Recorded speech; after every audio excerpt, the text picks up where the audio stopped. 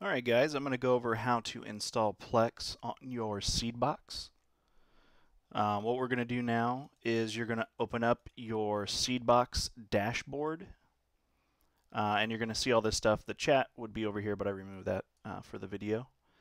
Um, from here, you're going to want to go ahead and click Plex icon.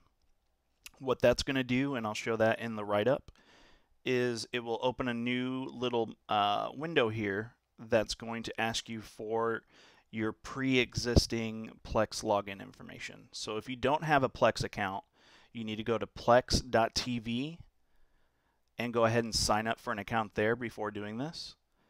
So once you're done doing that, or if you already have an account, go ahead and click this button right here. It's going to pop up the installation. It's going to ask you for that login information. Uh, and this isn't, again, this isn't the login information that you would use for, like, let's say BitSync or other things that you sign up uh, for here. Um, that will use your normal, like, uh, RUTorrent login information. But here it's going to be your actual account that you set up. All right, so once you're done doing that, you're going to click OK. And then from there, it's going to pop up another box which you can close. Um, and it's going to open up a new window in your browser, whichever one you have set down here. Uh, and uh, also, just just to note, make sure if you do already have an account or just set up an account with Plex, go ahead and log out of it now. Uh, that way, it will take you to the proper page to set up your server. All right, so when that's done, your window's going to pop up here. I'm going to disable that. Okay, and now you're going to be in whichever browser you have. Uh, either it's Chrome, Firefox, IE, whatever your uh, setup is.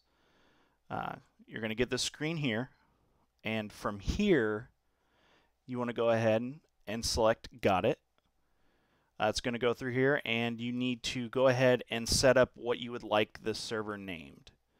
So it doesn't matter what the name is. It's not important other than when you're sharing it with other people uh, or using it yourself. It's just a name to differentiate between if you have a personal at home server and then this server. So I'm going to go ahead and just set mine up as Seedbox. Uh, you want to make sure this is ticked right here so that you can view stuff remotely. Uh, you're going to go ahead and hit next. Uh, and you don't have to add a library at this point in time. You can skip this step, but we're going to go ahead and do it for the sake of the video. You're going to add a library and then you're going to pick the type of things that you would like that library to show. So when you do movies, it's going to use different, um, I forget what they're called for Plex, searchers um, that are going to get the content for the movies that you're wanting to use uh, versus where TV shows will get things from like the TV DB, where this is going to get it from the movie DB, uh, DB or like IMDb, uh, the information for the shows. Uh, so for here, uh, I'm going to set up. They're this. They set up the same way. So from here, you're going to hit, in my instance, TV shows. Okay, you can name it whatever you like from here. Doesn't matter. Uh, you're going to hit the next button. Now you're going to have to browse for a folder, and right here you're going to click Downloads and then this is your file layout for RUTorrent. So normally it's in manual. You could have other uh, things set up. Like mine, I have uh, Auto Movie. Uh, and then we'll go ahead and add this. Well, here we go. Let's do that one more time because that error. Okay. So Auto Movie. Um, from here, I have some TV shows so I'm going to hit add. So you've already got that. So add this library. It's going to show up here. You can add other libraries at this time if you'd like. Go ahead and hit next. Uh, that's up to you uh, to send anonymous usage data. I personally don't, but I don't think it's a big deal either way. Uh, you don't need to mess with the Plex apps. And if you see here down at the bottom, it was starting to add content. All right, you're going to hit done. And from there, here you go. You're in your Plex. So on mine, I have I can go into my actual personal server that I run from home, as well as the Seedbox we just set up. All right, now you're going to have to set up at this point port forwarding. Uh, what that does is it allows uh, remote devices not located on your Seedbox server to access it. So we're going to go to Settings. Let this do whatever it's doing. Log in here. Um, you might not have to do that, but if you do. Uh, so after you click Settings, you're going to go to Remote Access here. Um, you want to click Manually speci Specify Public Port. Sorry, I'm stuttering a little bit. Um, and we're going to go ahead and hit retry. Now this may take a couple times.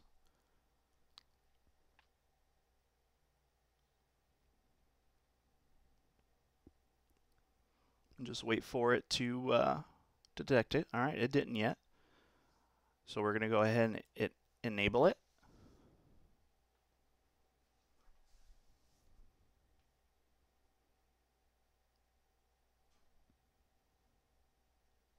and just wait here. All right, it is fully accessible outside of your network. Um, so from now, you don't actually need to use your um,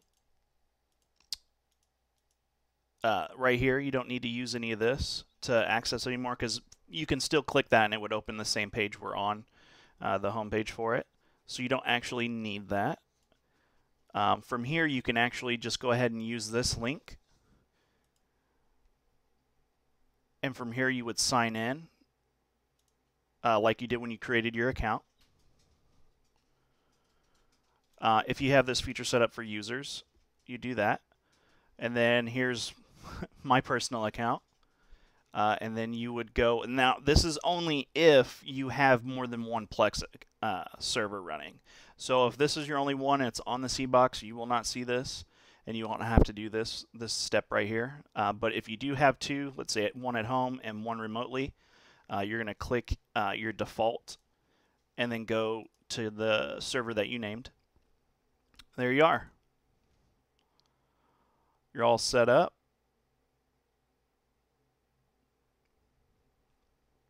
Let's try running uh, a show.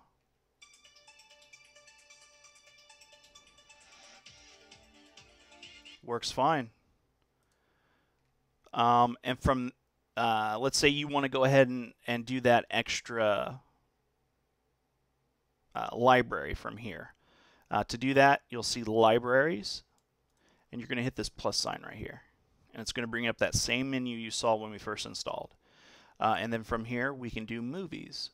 Uh, and you can name it whatever you'd like. Let's go ahead and hit next. We're going to browse the way we did before, which you will go to downloads right here. And then you'll go into the folders you've either created specifically for Plex or just wherever your uh, uh, RUTorrent goes. Uh, so we're going to go here, and here we happen to have two movies uh, in the main folder for RUTorrent. So I'm going to go ahead and hit Add.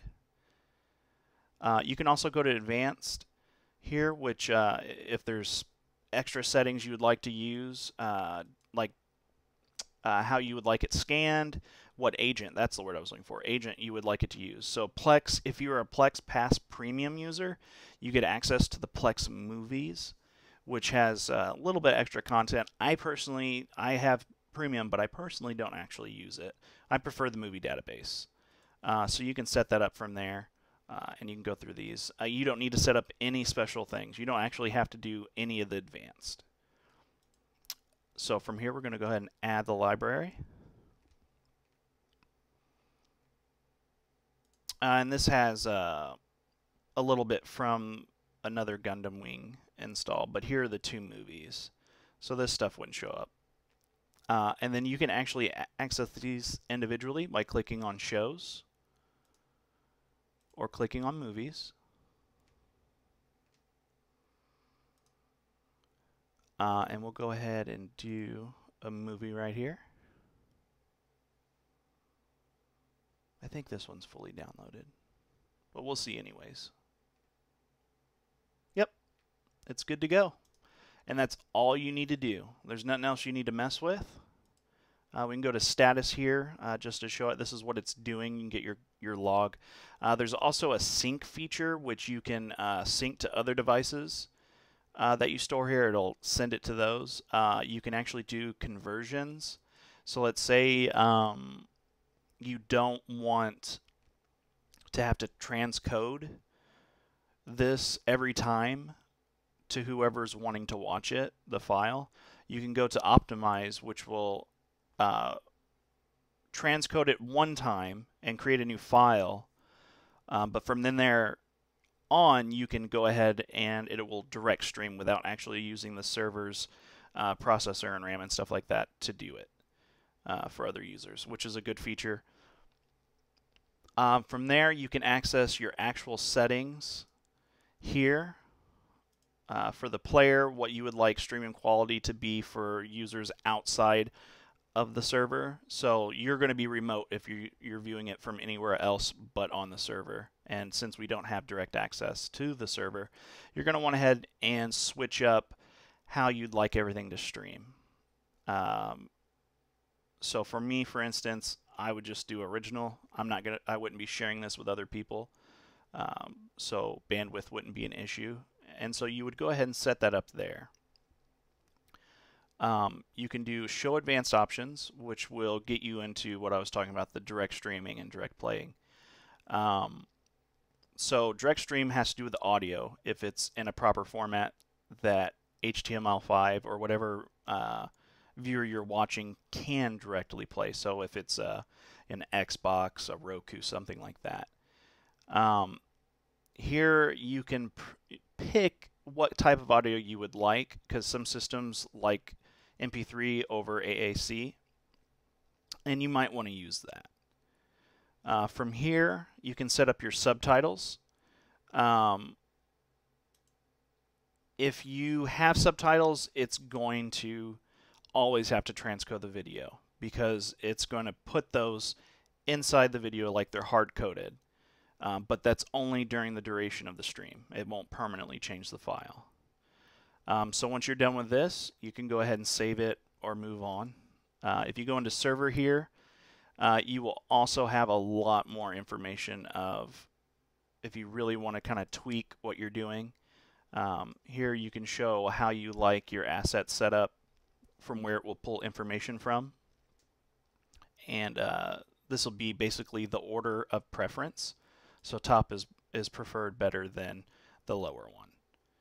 Uh, you can go in here and mess with everything. Uh, channels, basically channels are like if you would like to add YouTube to your to your Plex, where it will it won't download anything from YouTube, but you can access YouTube.